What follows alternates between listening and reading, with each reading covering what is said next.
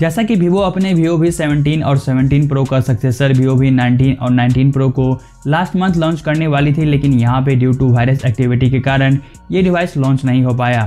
वैसे तो इस डिवाइस को ग्लोबली लॉन्च कर दिया गया है, लेकिन आपको इंडिया में उम्मीद किया जा रहा है कि आपको अप्रैल के लास्ट वीक तक लॉन्च किया जा सकता है। साथ ही ये डिवाइस आपको एक मोस्ट पावरफुल कैमरा फीचर के साथ आएगा और यहाँ पे आपको एक दमदार चिपसेट भी देखने को मिलेगा। और इसके अलावा इस डिवाइस में आपको डुअल पंच होल डिस्प्ले देखने को मिलता है। जो कि आपको वीवो के तरफ़ से इस सीरीज़ में पहली बार दिया जाएगा।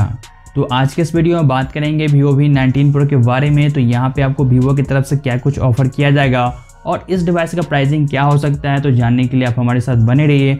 और अगर आप पहली बार विज़िट करें तो लाइक और सब्सक्राइब साथ ही नोटिफिकेशन बेल आइकन को प्रेस कीजिए, ताकि इसी तरह का लेटेस्ट जानकारी आपको सबसे पहले मिल जाए। तो शुरुआत करते हैं इसके डिज़ाइन और बिल्ड क्वालिटी से। तो यहाँ पे आपको ग्लास पैनल दिया जाएगा, जो कि three D glossy grade finishing के साथ आपको देखने को मिल जाएगा। वहीं आपको प्रोटेक्शन के लिए कोर्निंग ग्लास फाइव का प्रोटेक्शन भी दिया जाएगा। और आपको रियर साइड में क्वाड कैमरा का सेटअप दिया जाएगा, जो कि आपको स्क्वायर सेप में अलाइन किया जाएगा। और जिसका प्राइमरी सेंसर आपको 64 मेगापिक्सल का होगा। और ये सेंसर आपको सोनी का आई एम सेंसर देखने को मिल सकता है। इसके अलावा आपको 8 मेगापिक्सल का वाइड एंगल लेंस 2 मेगापिक्सल का डे सेंसर और 2 मेगापिक्सल का एक सुपर मैक्रो लेंस दिया जाएगा। और वहीं बात करी जाए इसके फ्रंट कैमरा के बारे में तो आपको फ्रंट में डुअल पंच होल डिस्प्ले दिया जाएगा, जिसमें आपको प्राइमरी सेंसर 32 मेगापिक्सल का होगा। इसके अलावा आपको 8 मेगापिक्सल का एक वाइड एंगल लेंस दिया जाएगा।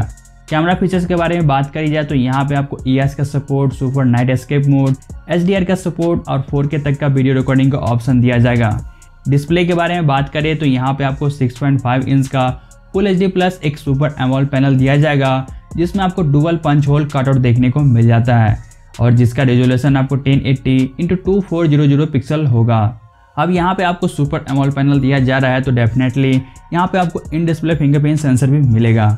ऑपरेटिंग सिस्टम इसमें आपको एंड्रॉयड टेन का सपोर्ट मिलेगा, जो कि फन टच ओएस पर रन करेगा। इस डिवाइस के परफॉर्मेंस और मल्टीटास्किंग के बारे में बात करें तो यहाँ पे आपको स्नैपड्रैगन का 730G चिपसेट मिलेगा, जिसका मैक्सिमम क्लॉक स्पीड आपको 2.2 पॉइंट देखने को मिल जाता है।